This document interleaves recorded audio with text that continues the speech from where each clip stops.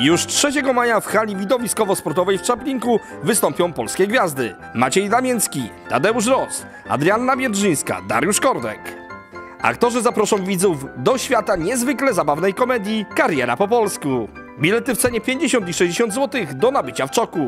Zapraszamy 3 maja o godzinie 18. Hala widowiskowo-sportowa w Czaplinku.